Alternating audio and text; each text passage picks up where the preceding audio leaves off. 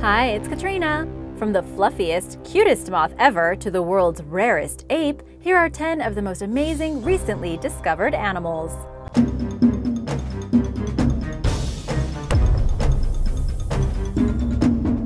Number 10.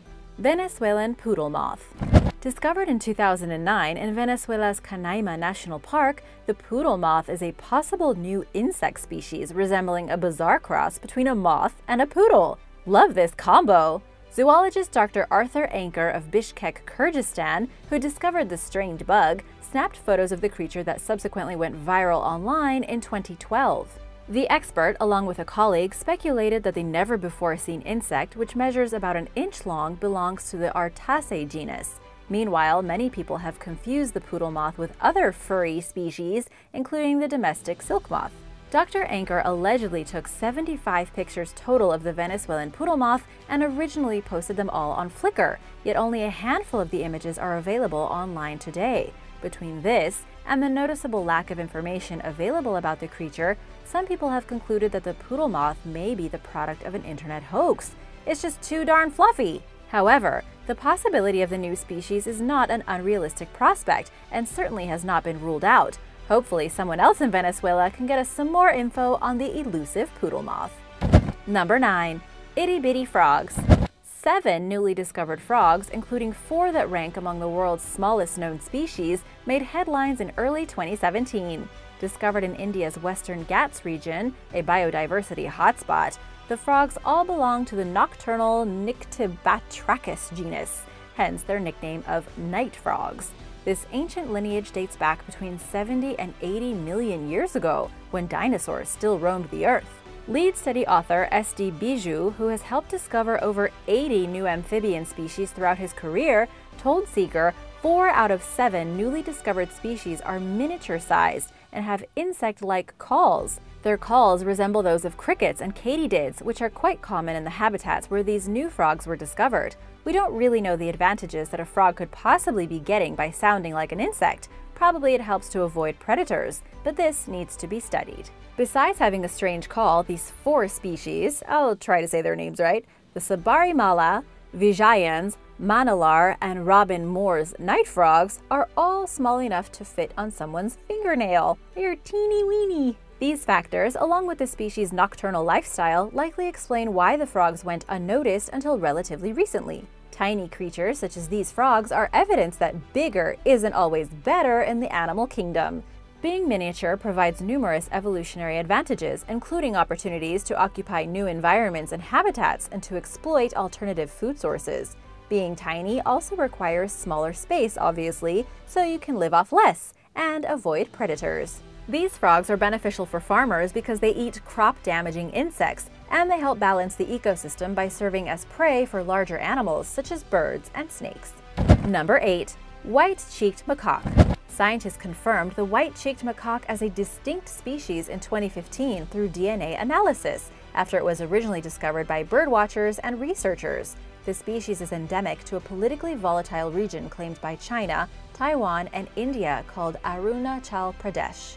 A Chinese research team captured footage of a group of white-cheeked macaques using camera traps in four gorges throughout Tibet. The team spent months analyzing over 700 camera trap images and observing the species before alleging that they were certain they had found a new monkey species. A group of them surprised birdwatchers days after the research team had published their findings of the animal. Hailed as one of the most important zoological discoveries of the decade, further scientific testing verified that the researchers were indeed onto something with their suspicions that they had found a previously unheard of primate. The white-cheeked macaque's range is only known to include Madog County, the direct area in which it was discovered.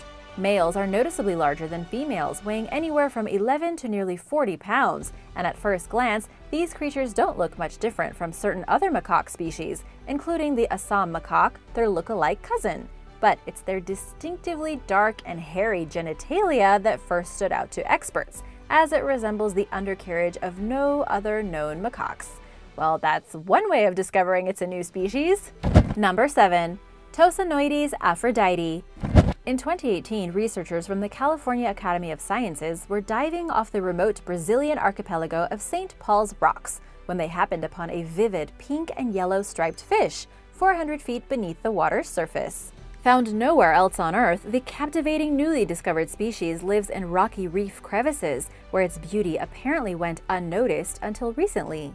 This is one of the most beautiful fishes I've ever seen, Dr. Luis Rocha, Academy's curator of fishes, said, adding, It was so enchanting, it made us ignore everything around it. This is true. As the divers gazed at the never before seen neon creature, they didn't even notice that a massive shark was hovering over them. Due to its enchanting qualities, the new species was named Tosanoides aphrodite, after the Greek goddess of love and beauty. It lives in the ocean's twilight zone that lies just beyond the sunlight's reach, and as the team later discovered following a DNA analysis, it is the first known Atlantic-dwelling species from its genus. T. aphrodite is one of many species endemic to the area around St. Paul's Rocks due to the archipelago's isolated location 600 miles off the Brazilian coast. Number 6 supergiant stick bug. At over a foot long and measuring as much as 21 inches with its front legs outstretched, Phryganistria heusii yentuensis is an extremely large new species of stick bug that was first described in late 2014. Discovered in Vietnam by researchers from the Royal Belgian Institute of Natural Sciences, it's the second largest insect ever described.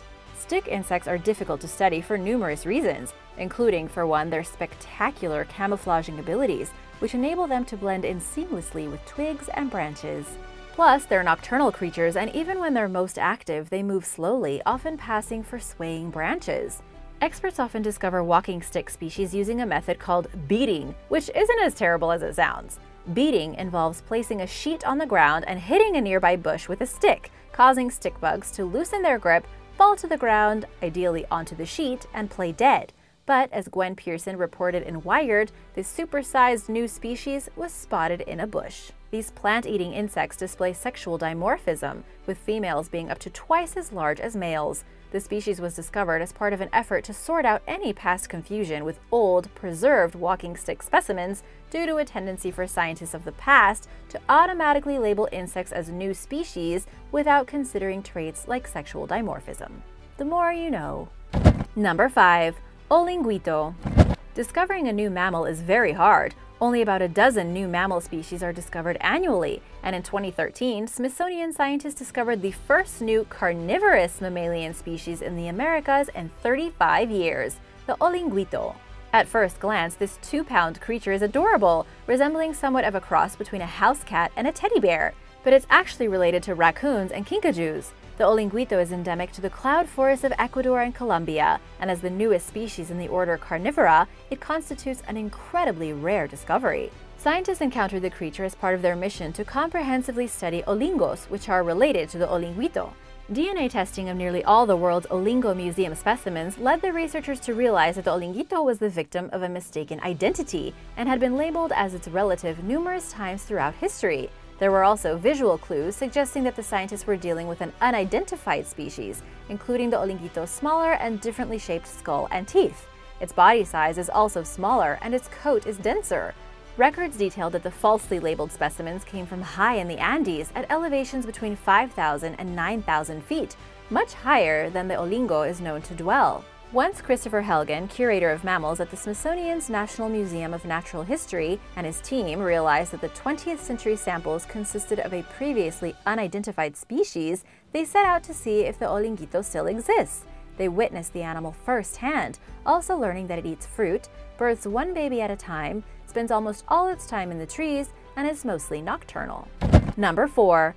Flapjack Octopus Researchers have known about the existence of flapjack octopuses since 1990, and they're often caught as bycatch in trawler nets, but scientists know very little about the creature which lives on the sea floor. They're among 14 species of umbrella octopuses, or pancake devilfishes, belonging to the Opisthoteuthis genus, and are called flapjack octopuses due to the flattened appearance they share with most of their relatives. Since they are kind of rare, every time one is found, it kind of stands out. This bizarre, dark red deep sea dweller typically measures around 7.9 inches across the mantle and has a gelatinous body, fins that resemble floppy ears, and eight legs, of course, since it's an octopus. It's been spotted off the Japanese coast between 1,740 and 1,840 feet below the ocean surface, as well as off Eureka Bar, California, at a depth of 1,150 feet. Flapjack octopuses have a strangely cute and seemingly harmless blob-like appearance, but they are predators at the end of the day, feasting on small crustaceans and creatures called polychaete worms. Although these creatures are not well known in the scientific world, they have made numerous appearances in pop culture, including as the character Pearl from the Disney Pixar movie Finding Nemo. Number 3. Central African Slender Snouted Crocodile in 2018, scientists described the first new crocodile species in over 80 years, the Central African slender-snouted crocodile, found throughout a broad region of Africa from Cameroon to Tanzania. Discovered hiding in plain sight, the species and its West African counterpart were long thought to be one and the same. Upon learning that there are two distinct slender-snouted crocodile species, researchers also realized that the West African species occurs in numbers far lower than originally thought, making it critically endangered.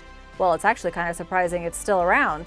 There are an estimated 500 of them left, according to lead study author and Florida International University researcher Matt Shirley, who spoke with National Geographic about the animal.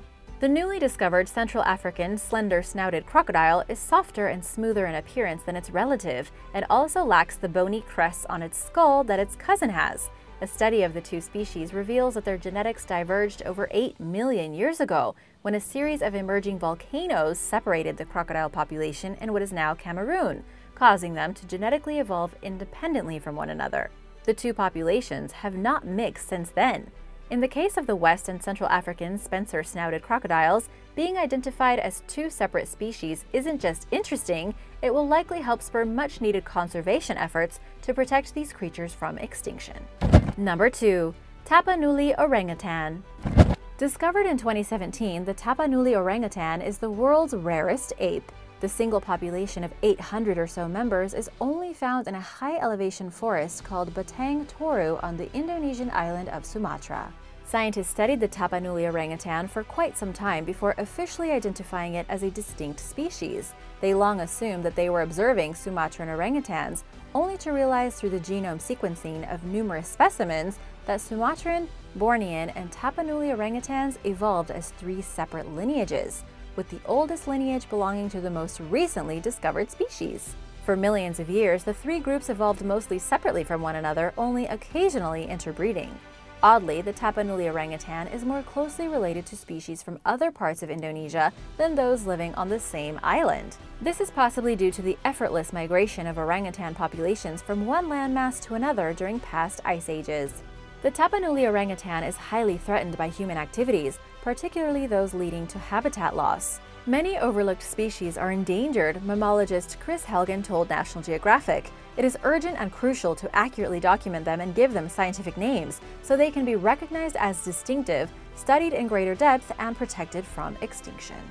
Number 1. Hog-nosed rat Modern science was unaware of the hog-nosed rat's existence until 2013, when it was discovered twice in one day on the Indonesian island of Sulawesi, the only place on Earth where it is found. A team of researchers found the big-eared rodent in a remote mountainous region and later determined that it constitutes both a new genus and species. The hog-nosed rat possesses features not seen in other rodents, such as long hind legs and a large flat pink nose with forward-facing nostrils, hence the creature's name. Additionally, it has extremely long incisors, even for a shrew rat. It also lacks something called the coronoid process, a jaw muscle attachment point that most mammals possess. The hog-nosed rat doesn't just look different from other rodents, it's genetically unlike other species as well. These creatures have weak jaws given the absence of the coronoid process. They feast mainly on earthworms and beetle larvae, you know, foods that are easy to chew. As fascinating as the discovery of this new species is, it's not entirely surprising. Sulawesi is home to extremely challenging terrain, and for this reason, it's been little studied since the early 20th century. The hog-nosed rat, for example, was discovered at an elevation of around 5,250 feet in an area that receives near constant rain and which requires a two-day hike from the nearest village to reach. It's just one of several rodents discovered on Sulawesi in recent years, including the few-toothed shrew rat, which was described in 2012, and the Sulawesi water rat, which scientists described in 2014. Thanks for watching! Which animal was your favorite? Let me know in the comments below and be sure to subscribe if you haven't already. See you next time. Bye!